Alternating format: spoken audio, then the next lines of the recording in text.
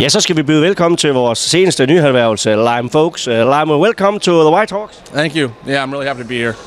Uh, how much did you know about White Hawks before you, you uh, came here? I didn't know much. Um, it's my first time in Europe, but uh, I know with uh, the virus that's going around, I've been seeing a lot of guys going to play in Denmark and Europe, so I thought this was a great opportunity for me.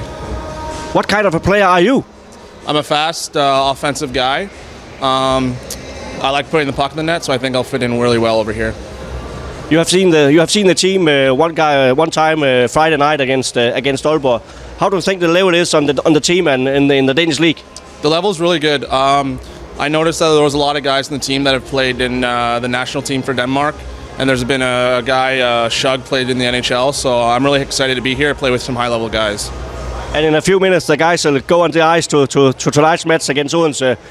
You would like to be there. Yeah, I- I'm excited to play whenever that'll be. Um, but whenever whenever I get my chance, I'll be ready. Have you some uh, opportunity? When, when can you play? Do you know anything about that? No, we don't know yet. Um, but whenever I do, I'm, I'm going to be ready to go. We're very happy to have you here. Uh, welcome. Thank you. Thank you.